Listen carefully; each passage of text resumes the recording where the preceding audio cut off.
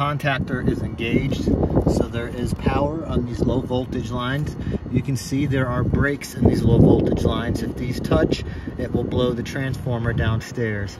I don't want to go downstairs and ah, bother the resident and turn that AC off right now. So I'm just gonna electrical tape these.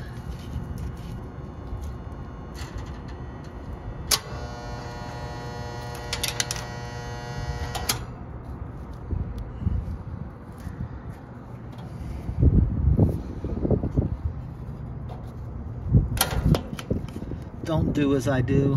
This is just a vlog, not a how-to video.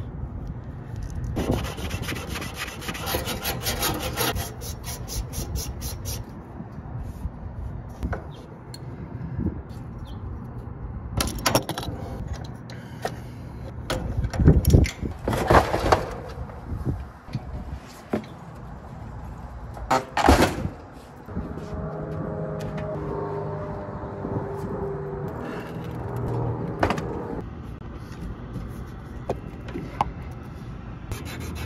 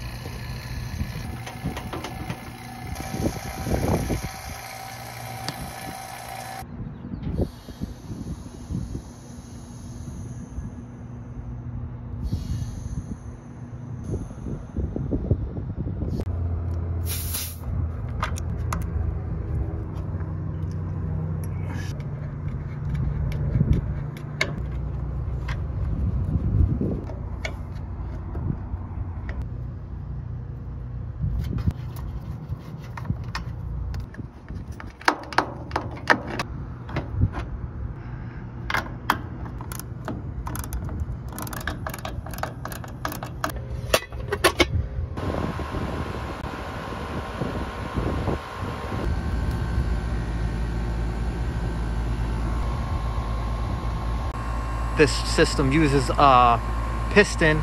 So I'm charging by superheat, although I'm not getting too crazy with it. We've got about a 10 degree superheat right now. Uh, it's still spring in Colorado. And it's about 50 degrees right now on the roof and I don't know what the heat load is inside. So I'm gonna dial this in the best I can and see what else I got going today.